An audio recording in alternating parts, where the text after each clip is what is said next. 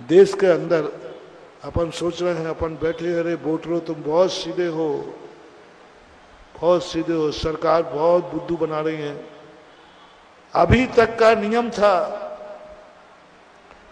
मरे हुए पशु ही निर्यात किए जाते थे मांस।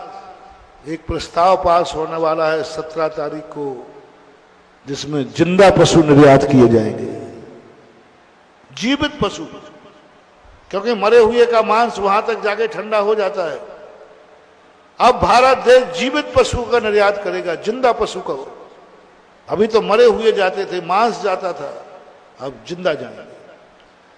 सत्रह तारीख को यह भारत पर कलंक लगने वाला है।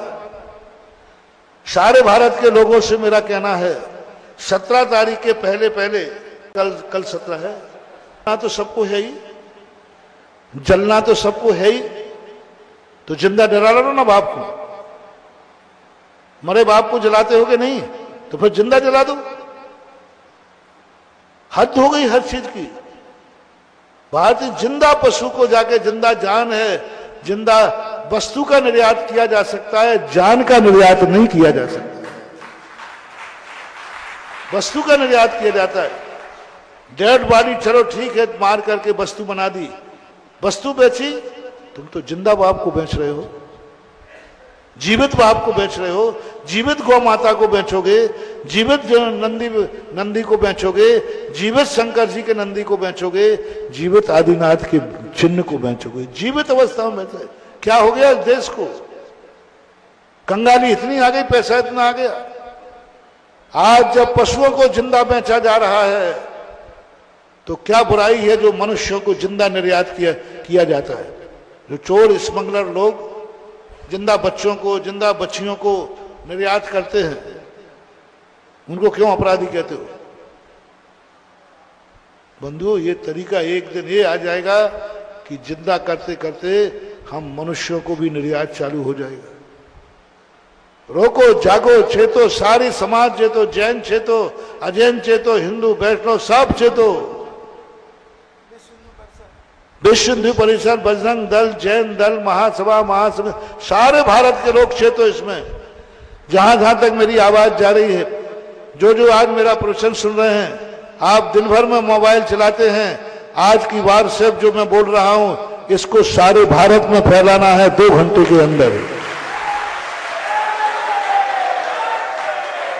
हर व्यक्ति को फैलाना है, और उससे कह देना, जो सुनेगा वो आगे भेजे, वो आगे भेजे। और सारे भारत से कहे, ज़िंदा पशुओं के निर्यात पर इतनी आपत्ति लग जाए कि सवा अरब की जनता है तो डेढ़ अरब आपत्तियाँ लग जाना चाहिए, ये नहीं होने नरेंद्र मोदी से मैं कहना चाहूँगा, आपसे बहुत बड़ी उम्मीद थी, आप खुद शाकाहारी हैं। बचाते विदेश में आप गए थे तो आप नींबू के बल पर रहे, शाकाहारी कम से कम इतना अन्याय तो आपके राज्य में नहीं होना चाहिए कि ज़िंदा पशुओं के प्रस्ताव निर्यात करने का प्रस्ताव पास हो। यदि ये प्रस्ताव पास होता है तो देश पर कलंक है, ये भारत माता तुम्हें कभी माफ़ नहीं करेगी। और भारत माँ की धरती का अभिशाप जन्म जन्मांतरों तक भोगना पड़ता है। इसलिए शासन से, प्रशासन से, न्यायालय से सबसे मेरा कहना है कि इस प्रस्ताव को पास मत होने दो। ये भारतीय संस्कृति की सभ्यता के खिलाफ है। ज़िंदा उसको बेचना बहुत बड़ी चीज़ है। और सारे हमारे भारतीय लोगों से कहना है कि आप लोग अपनी आपत्तियाँ भेजें। कहाँ भेजना है? मेल पर। भारत सरकार को? पशु मंत्रालय, भारत सरकार।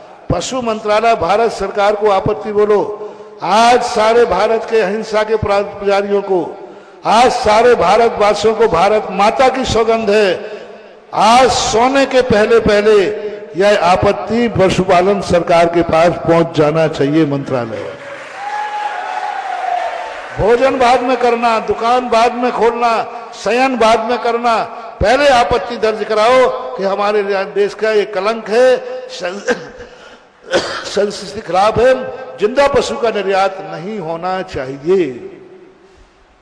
हर महिला पुरुष को घर में दस लोग हैं, दसों करो जितने मोबाइल हैं, उतने मोबाइलों से ये जाकर के दर्ज होना चाहिए आपत्ति। ये मत सोचो कि पिताजी ने कर दिया तो बेटा नहीं करे। पति ने कर दिया तो सब लोग अपने अपने मोबाइल से अपनी आपत्ति दर्ज कराओ। अपना काम है, राजा को सचेत करना। कम से कम इतना हो जाएगा।